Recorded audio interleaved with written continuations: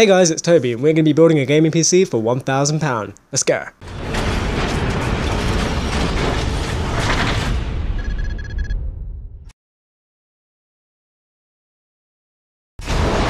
Alright, first of all we have an Intel Core i5 4670K.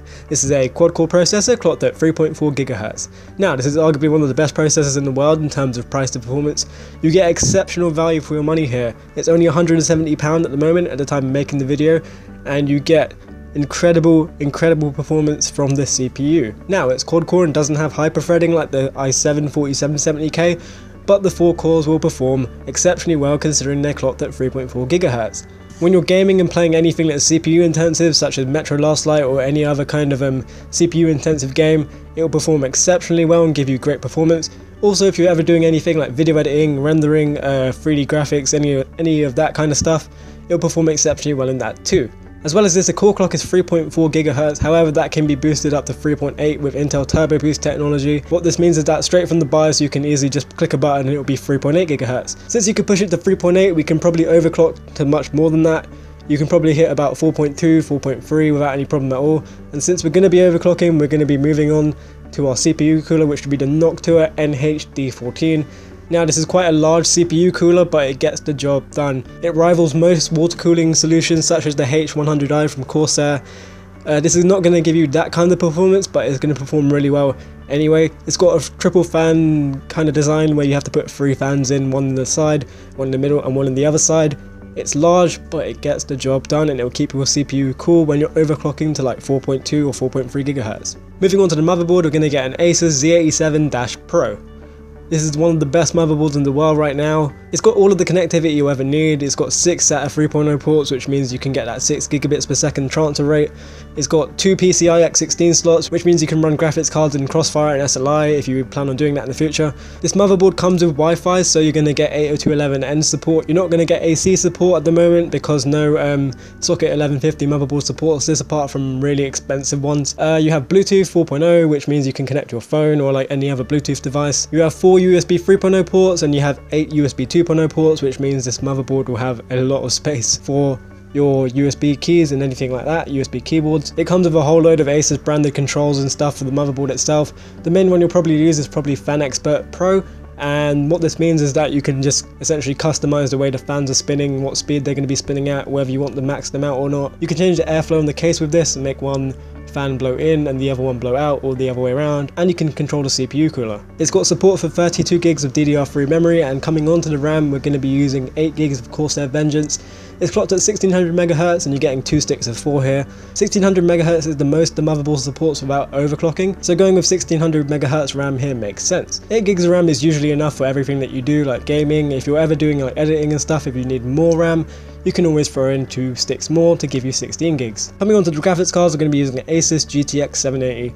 This is one of the best cards in the world right now. It's got 3 gigs of GDDR5, which should be more than enough for your games. If you're ever playing anything that's RAM intensive, such as like Skyrim with a whole load of mods and texture packs, the 3 gigs of GDDR5 will be enough in most cases. Um, again, you can throw any game at this and it will handle it exceptionally well.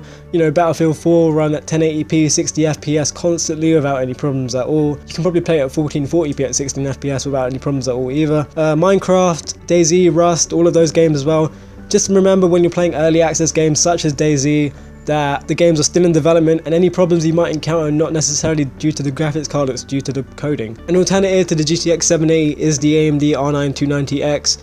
Again, it will give you exceptional, exceptional performance. Both of these graphics cards actually support 4K.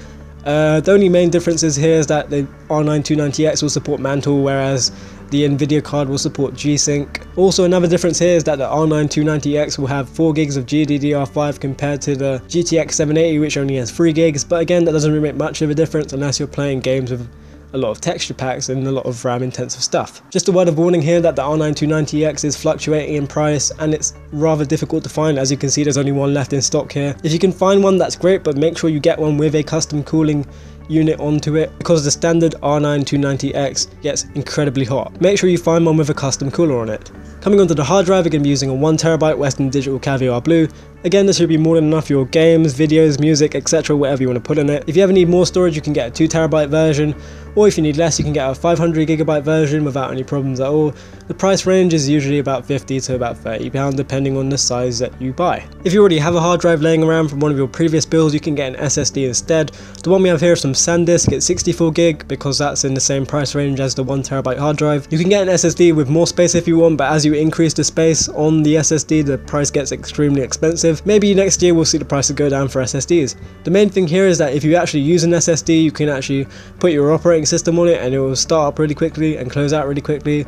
Also, if you're opening games which are on your SSD, they will start up incredibly quickly. They're not going to give you an FPS boost, but they'll start up really quickly and close out really quickly. Coming on to the power supply, we're going to be using a Corsair CX750. This is a 750 watt power supply and it's not modular because the modular version of this is going to be out of stock considering there's only two left but this shouldn't be a problem at all. It's going to be more than enough for our build and for any future upgrades such as if you throw in an i7, a 4770K or you know upgrade a graphics card, throw in more RAM, 750 watts is going to be more than enough. Also it's 80 plus bronze certified which means it's going to get clean and efficient power. And finally coming under the case we have an Antec 302 MIDI tower case. This is a ATX case which means it will support our motherboard. It's rather large so it will support our CPU cooler as well. Also you can mount a fan on the side so that can give you increased airflow. Um, overall it's just a nicely designed case, it will fit everything nicely. Even though our power supply is not modular there's a lot of room for cable management so that's fine. And yeah, it just looks really nice and it's only £55 and you can't really go wrong. And yeah, that's it guys, thanks for listening. Leave us a like if you like this video, leave us some feedback down below in the comments. Check out the links in the description for more. If you're planning on buying any or all of the components, please use our links in the description as it really, really helps us grow. I can't stress that enough. And yeah, don't forget to subscribe and we'll catch you next time.